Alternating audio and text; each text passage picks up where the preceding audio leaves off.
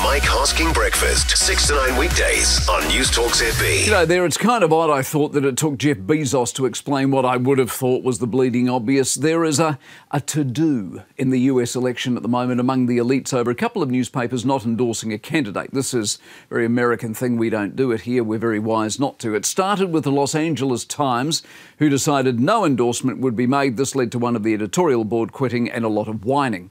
Then came the Washington Post. This is the paper that Bezos owns, and the editor said it was their call not to endorse. This was disputed. Several board members walked in. Allegedly, a couple of hundred thousand subscribers as of yesterday had quit the paper.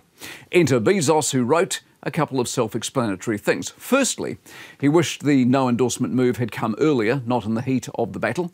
He then pointed out, quite correctly, not a single undecided voter ever, anywhere, had their mind made up by a newspaper. And then, most importantly of all, he suggested, once again quite correctly, the media is not trusted by the American public, and wandering around pretending to be neutral while endorsing people is not going to help their reputation.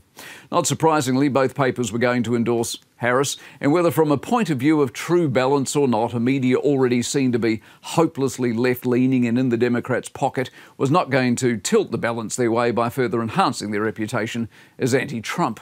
The endorsement business comes from a different age, of course, an age when papers actually mattered. Some still do, but not many. And as the media is diluted, it matters less and less. The problem with the problem is those in the middle of it still clearly suffer from another of the age old problems of the media. Too many take themselves too seriously.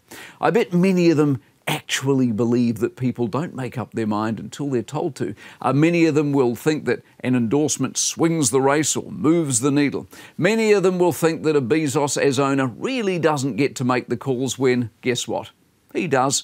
The upside might just be that a tired old habit, i.e., the endorsement by a newspaper, might just have died in the race of 24. The Mike Hosking Breakfast, 6 to 9 weekdays on Newstalk ZB.